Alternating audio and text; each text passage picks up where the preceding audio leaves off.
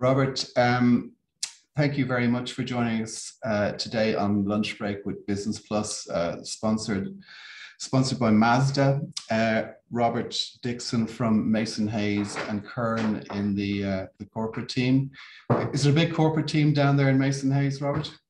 Hi, Nick. Uh, yes, so lovely to speak to you as well this lunchtime and to everybody else. We do have a big corporate team. It, it kind of, uh, I think we've got 12 partners and 30 associates, something like that. Um, so so we, we do plenty of deals and we've been very busy, to be honest. And of course, it's not just takeovers, there's all sorts of other activity, I suppose, uh, private equity, uh, corporate investment, joint ventures. People just think that M&A is just a deal, but it's a lot more than that, I imagine.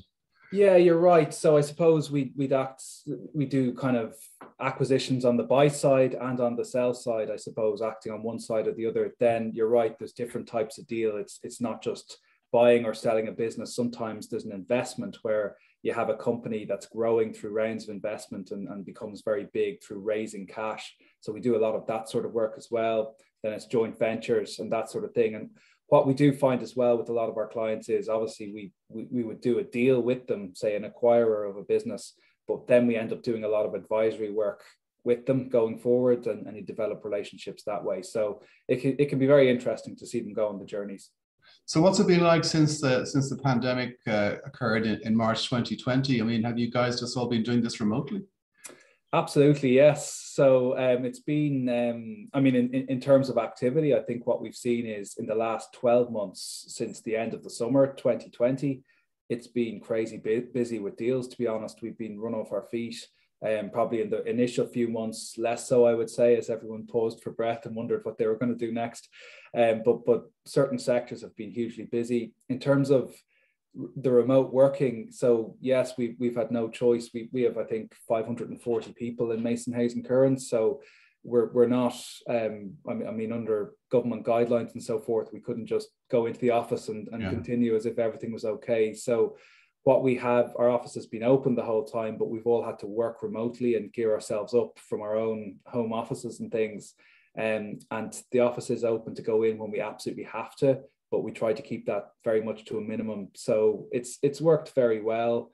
Um, I think um, clients have got used to it, and there's you know I don't think there's any disruption in service or if anything, you're you're kind of more available than ever. And probably even with the return to office in whatever form it takes, like uh, this autumn and into the winter, probably a lot of remote activity is going to continue for some of your, you know, for, for what you do. Yeah, I, I think so. And, and obviously it remains to be seen. I think nobody knows yet when it's actually possible and, and when this whole thing is over in terms of, um, the, you know, um, the, the pandemic and everything. Um, some people's perspectives will have changed. People have the opportunity to go and help coaching with their kids, that sort of thing. Yeah. Uh, you know that that mightn't have been possible if if you're, if you're working all hours in an office in town.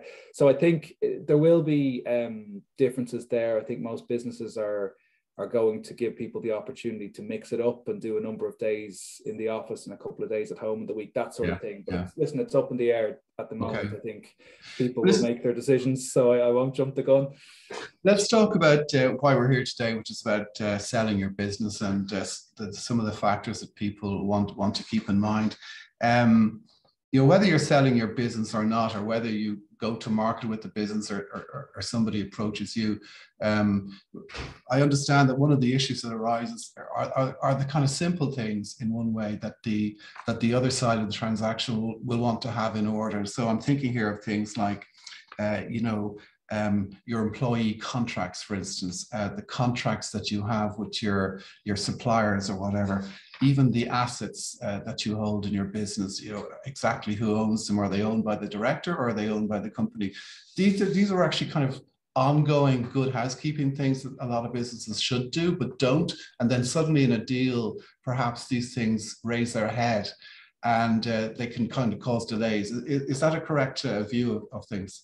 That's absolutely correct. All of that is true, Nick. I, I mean, I think um, what we sometimes anybody that's kind of advising on deals and that you, you sometimes forget that if there's a seller, particularly if individuals have grown up a business and maybe taken investment over time and then go to sell it, this is a huge lifetime event. You know, it's it's a huge part of somebody's life. They've grown up their business and they're exiting for a good amount of return, I suppose. Um, it, it, it's a hugely significant moment. And I think what you need to do in advance, if, if, you're growing a business and the business is developing, it's it's not just kind of thinking about these things when you're in the kind of um, in in the fire of the deal, so to speak. You know that you're in the, the the number of months that it might take to consummate a transaction. So you need to be thinking this way well in advance uh, and all along. And the sorts of things you talk about there, Nick, are absolutely right in terms of housekeeping, um, having employment contracts in place. Um, you know, these are all things you should you should do anyway, irrespective of a sale. But I think having that protection there, I think one thing that's very important, it's more important in some sectors and types of businesses than others, is intellectual property. So what you don't want if you have contractors, for example, in your business, you don't want to not have any agreement in place, whether it's in the contractor agreement or somewhere else. It can be literally something very simple, a few lines making clear that any intellectual property that they generate through their activities for the company is belongs to the company. And the reason you have to be careful around that is that, you know, if you have an employee that is has an employment contract and so forth, and they generate IP, that is automatically legally owned by the company. Yeah. Whereas if you have a contractor and they generate IP, it's automatically not owned by the company. It's, it's that, that must be a big issue these days because on the IT side, especially, so many companies turn to the services of, of contractors. And when the buyer comes along, the buyer is concerned, well, that contractor worked on that piece of your website or something much more complicated than that. And do they own it or do you own it or what? Yeah, I mean it's it's it's a question of of the facts of of the particular. I mean, if if you don't have a, a robust agreement in place, that states that the IP generated is the the intellectual property generated is is the own is owned by the company. If it is a contractor, the, the, the company does not own it. Now it's never necessarily black and white and simple. And if you're in that situation, you're litigating it, of course, as yeah. a company, you'll try and come up with whatever you can. But I mean, I think it's certainly as a buyer coming in, it, it's one of the things that there's a whole load of subjects you're, you're looking at. You're looking at obviously depending on the nature of the business, the real estate, is it you know is it, what's the situation with the lease or so forth you're looking at employment as you say nick you're looking at data protection you're looking at the contracts are they actually just signed? just hold just hold you on data, data protection there, there yeah. now because you know since gdpr um, you know, it's much tighter data protection rules, and especially around simple things, even like, uh, you know, who are who are you emailing in your business, and do you have their permission or not? Are they B two B? Are they consumers? And if you're not playing totally by the GDPR rules, maybe the buyer will uh, will certainly stick you for a warranty or indemnity on any any problem that will arise. It's it's true, and it's certainly a focus for buyers because actually, I think for most businesses or all businesses, I would say it is very very difficult to comply 100% with everything it, that, that's required by GDPR. I think that's that's the reality of it. I think there is a big difference we see on transactions between businesses that have appear to have made no effort or almost no effort to comply whatsoever, and businesses that have made a genuine effort and have put resource and time into it and can demonstrate that. I think as a buyer, you know, a buyer will be concerned if, you know, obviously they'll be particularly concerned if there's an actual um, you know, an actual investigation or complaints or that sort of thing. Of course, that's yeah. top of the list in terms of concerns, or, or an actual fine or, or something. Next kind of big concern would be if clearly nothing has been done to try and protect and remedy and comply with those stringent requirements. And you're right, Nick, it's just been a huge source of um, you know so, source of attention i suppose over the last number of years since since it, it might not collapse a deal but as i said it'll certainly the, the buyer will will be uh, insisting on all, all sorts of uh, uh, guaranteed yeah, indemnities from the vendor that's right and, and typically we'd see warranties any like we warranties are the kind of statements of facts about the target business and to get away with no warranties about data protection would be fairly unheard of yeah. Whereas you're right, if you stray into indemnities, which is your euro for euro protection for every, that's where you're seeing an actual liability or a problem. But you know, we, we do see an. Uh, it, it's very hard to really comply with everything. I think it's, yeah, there's so much yeah. in it that I think you just want to get What, what about more, more mundane things, Robert, like, you know,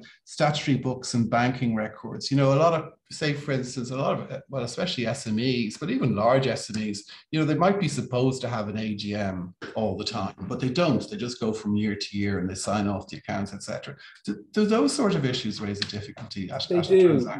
it, it's, and I focus particularly there on the kind of register of members, um, Nick, and the ownership of the company. It seems a very obvious and simple thing, but we definitely do see that, particularly as you say, SME level. If, if, if there's, you know, if, if, perhaps if you haven't gone through an investment round, but even if you have, it's it's a pro- like there might be situations where some somebody has done some work for the business over a period of time and there was a loose arrangement perhaps even only oral arrangement to grant that individual some shares in the company and it hasn't been put in yeah. place. Things like that. I i've talked to people who are at a developing stage at times and they just haven't been aware for example of the need for a register of members.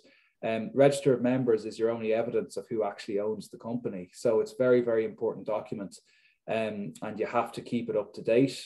So so you do see that and you see it perhaps more on investment rounds than, than on sales but you have to I, think those details should be you know focused upon. I think the thing we sometimes have to remember is those entrepreneurs who have built up a really successful business they have a million things to deal with and sometimes something like that isn't isn't top of their priority list. That's some people some people are completely different to that and are. But but those things like you're kind of giving somebody if you think of a buyer is going to hire lawyers, going to hire different uh, deal team, something like that will just give them an easy thing yeah. to aim at and target and, and, and, complain about. So you, you want to remove any of those easy obstacles. And you're right as well, Nick, on, on banking documents and things like that. It's just having your house in order, knowing exactly what your facilities are and being able to provide them all to a buyer very simply, you know. Well, I suppose like, like there are two type, type types of, of deals where someone's selling their business. One is that they they set out to sell their business and they have a plan, and the other one, of course, they're just trundling along, and someone comes along and says, "I want to buy your business," and then then you might be scrambling to do those issues. But if it's your plan to sell your business, uh, I know you're very very keen on on the idea of establishing a data room, as you call it, uh, right from the get-go so that these sort of issues are addressed well in advance of anything that might take place. So could you explain to me in, in the in the big law world, I suppose, what a data room is? So a data room for the purposes of a transaction is where the, the, the party selling or the company taking investment, as the case may be, sets up this virtual kind of site or, or room, if you like, uh, virtually where you, just click a link to go into it and then the subfolders and so on, that sets out all the important information that a buyer or an investor is going to want to see. So you might have um, all the subjects we've just talked about would have their own section and then subsection. So it, take employment, for example, you might have employment might be section five of of 12 sections or something like yeah, that. Yeah. And then you'd have key employment agreements, you might have trade union agreements, you might have different things like that set out. And what you want, uh, so first of all, on an actual deal, you want that to be really well organized, really well populated. There can be kind of tactical concerns about if you're early in a process and you're not sure if the buyer is kind of you're you're not right at the end and the buyer could walk away and you don't want them to see certain contracts before that. You might want to think about that a little bit in terms of timing of making certain things available. But nick you make a really good point there which which um, about maybe having a data room in advance of a transaction. And that doesn't mean committing huge amounts of time to get it in in an exact perfect state it's just sort of as you develop as a company thinking okay where are my key agreements so that if the time comes that you decide okay i want to kick off a process to sell my business yeah. or even if you get approached you actually have the work 80% or 85% done and you have the documents dumped into an area in 12 different sections you have your key contracts you have your um, data protection compliance documents you have pensions materials because I can't tell you how many times in a deal we've seen momentum stalled, delays, and ultimately a deal can sometimes fall over when you, you, you're not ready to sort of produce that data room as a seller or the seller isn't ready to do so. Questions come in from a buyer because you don't have all the information there and then it's two weeks before the responses actually come back and when i go back to what i said at the beginning about just how important the deal is you know this is a key event potentially in, in a seller's um, life really and to not be prepared to actually jump through the hoops that you know you're going to have to jump through is, is just a real shame. So that's why i'm suggesting if if this is something that could ever happen with your business you just do it as you go and you know not that you spend- i know but in practice robert how often yeah. does that happen i mean somebody might have a business that's been going for say I don't know, 15 years, uh, you know, good SME or whatever, they're getting a bit older, they might think, okay, uh, or because of COVID, it's about time to check out of here. It's usually quite a, be, it'd be rare enough, I imagine, the kind of person who said, who said five years ago, oh, I'm going to sell my business in 2021 and this is what I'll do. I mean, do, or maybe a lot of more people out there are organized than I think there are. No, I, I think it's a fair comment, Nick. I mean, where we do see uh, and we do see for a lot of clients actually that they have a data room they just keep and it's ongoing. It's not just for one transaction. In fairness where we see that most is where it's clients that are actually doing deals all the time taking yeah. investment all the time. So some of these clients are in super fast growth mode and they're doing very well and they have loads of investors trying to come in. And i suppose when an investor comes along typically they will want to say, well, where's all the information if I'm sticking X yeah, yeah, in yeah. I need. So in those types of situations, in fairness, Nick, you see it more. I suppose what I'm saying is whether it's a data room or, or what, you know, just to have access to this information quite quickly so that it's not an impossible task that would almost put you off doing a deal. yeah, yeah. But I, I, suppose, I, I mean, an alternative without somebody turning up with a lawyer and asking for a data room, even as a good housekeeping kind of exercise, I suppose they could just set up their own Dropbox yeah. and just be conscious of, oh, what have I done about it this year? What have I have I put in the latest employment contracts? Whatever. It's just a piece of yeah. advice, you know. I'm certainly not suggesting anybody um, spend money on the, you know, it, it's a Dropbox or something that you can do for free, I think is more or very cheaply is, is what I'm talking about. Just be aware with those things so first of all security and privacy you know don't make sure that that that you know it can't be compromised or the information can't be obtained yeah, yeah. through a weak password or something like that um, and equally when you actually go into a transaction there are some data rooms that are notoriously poor um, compared to others i won't i won't name any names um, so so just make sure you're advised as to what's a good one that isn't going okay. to wind okay. up the buyer and hit its advisors um, from the seller's perspective, Robert, can we just talk a bit about the anatomy of the deal? You know, um, I suppose what I'm getting at here is that do presumably you're, you're got in touch with, now it might be, in fairness, it might be some of the firms that you're helping with the investment thing all along, but then does the owner come to you or do their accountants come to you? And what's your conversation like with the vendor at the early stage of this process? Yeah, and I think it's the, the anatomy of a deal point is really is is a good when we're talking about kind of preparing to sell your business. I think sellers understand how a deal tends to run, so that if you haven't done it before, in particular, so that you're there aren't surprises and so forth. Um, in terms of that, I mean, quite often, we've typically had like prior to that point, so we might have active conditions and then they go to sell. Um, so so we, we see a lot of that.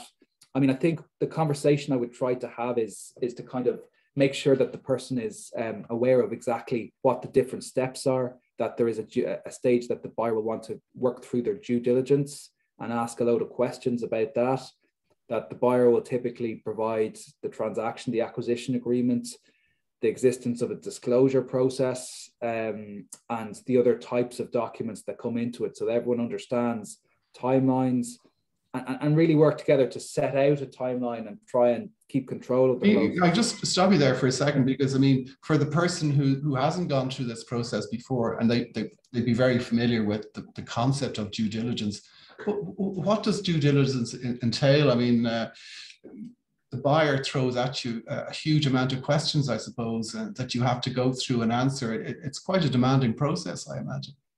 It is. I mean, I think it, it can buy the approach of different buyers can vary in terms of how deep they like they want to go and, and how many questions they ask. The the things that almost always happen. So the control you have as the seller is generating a data room and almost getting the, the first um, stealing the first march on that um, right. and saying this is this is the order of us. The buyer will typically almost always if, if they've hired a a lawyer, uh, any sort, sort of sophisticated, you know, lawyer that's familiar with deals and that, they will produce a due diligence questionnaire with all the, the questions they expect to be answered. And you will need to go through all those pages and just say, cross refer to the data room or answer, say yes, no, whatever it might be. Um, so that'll be a step. But sorry, just holding up there. So if you haven't, if you don't have that data room process or Dropbox, yeah. whatever you want to call it, in hand, you're going to be landed with a huge amount of work. It sounds yes, to me. That's it. That's it. And you, you can obviously do absolutely nothing and then say, okay, what do you want to know? But they will want to know things that take you a lot of time to pull together if you're not if you're not ready. And yeah. I think from there, the, the, you know, what will happen is the buyers advisors, and this isn't just legal, this is obviously financial, tax, um, you know, whatever else might be, depending on the nature of the business, will go away and will look at all those answers, will look at the documents in the data room. They will have a scope of work, I suppose, with their own clients, the buyer, where they will agree how much detail they look at the different things. They will go off and assess all that, and questions will come back and forth that the seller has to deal with and they'll say, well, okay, you've given us this pension document. Where's the actual trust scheme document? You know, yeah, things like that, that that will come back and you'll just have to go and try and deal with it. You see very different approaches from sellers. You get you get a huge amount of almost aggression sometimes or frustration where it's, you know, what can happen is a million a lot of questions are asked and sometimes they're duplicative Sometimes you have a, a kind of a, an accountant asking a question and a similar question comes from a lawyer. I think as a seller and seller's advisors, you want to keep control of that as best you can. And, yeah, and I'd, say, I'd, say, I'd say that's easier said than done because after all, the buyer's the guy writing the check, you know? Yeah, it's a balance. I mean, I've, I've, I see different approaches. I think if, if a seller has a certain amount of power, let's say it's an auction process and you get two or three buyers who are like scrambling over each other to try and buy this business, a seller can sort of say, listen, no more than 10 questions a day, and we won't be taking any more questions after this. You know, you, you yeah, can actually, yeah. the risk you take with anything like that is, of course, that the wrong type of buyer just won't be bullied about stuff like that and won't do the deal unless their questions are dealt with. So, just, just as a matter of interest, at what stage of this process then does the transaction price emerge? Because I presumably a vendor won't get involved in any of this until they have some kind of guide price. Or do you only get into due diligence after you've agreed a price for the business, or yes. does the price change so, as you go on? Absolutely, and it's a thing we definitely recommend is that a heads of terms or term sheet is signed before, and, and that that's not you know the full scale legal document. It's a non. That, but that would include the price that's being yeah. prepared to be paid, right? Yeah. Exactly, and it'll need other key terms as well. Keep it quite simple make sure it's clear what parts of it are binding and not binding. And you know, you'll expect exclusivity. A buyer will expect exclusivity before they sign that. Yeah. But you know, the but how, how does the, how does the buyer know how much to pay unless they've actually been able to get under the hood? Well, I mean, I suppose a, a buyer will have a good sense of the business, what the they'll have been told some of the figures in terms of turnover, EBITDA, whatever yeah. else it might be they'll know the projections and the reasons. So there'll be a very clear calculation as to how that's been worked out. So really, due diligence is confirmatory. It's not an exercise to try and work out how much to pay for the business. Sometimes, if something huge comes up, there might be some adjustment to the price. Yeah. So if suddenly there's a claim that's likely to result in a 1 million liability within the next year, there are different ways to deal with that. One might be a slight reduction in the price, but you know, diligence as a seller, you don't want to go down that road and then find out the price is, is not one you're willing to part with your business for. So it's definitely very important to nail those details down before you commit at the start. Yeah. Listen, we're nearly done. Uh, I've got a question here. I don't know if it's in your area, really, though. Um, Robert, um, how do you target the most likely purchases of your business? Purchases. Yeah, It, it's a good point. So, and that that sort of assumes you're selling your business without sort of, you know, sometimes as we talked about, Nick, somebody has actually approached you, or you have an existing, let's say, customer who wants to buy your business. If you are looking to target, um, you know, buyers, what I would say is you can either go through the kind of corporate finance route, which is a lot of deals we would see a corporate finance advisor advisor gets appointed and they effectively go and find you a buyer and run a process for you. And um, in terms of who they decide to target, they will have they should have a database of and contacts and connections of you know business. It'll be a mixture of maybe private equity or depending on you know venture capital if it's an investment, but private equity buyers or trade buyers.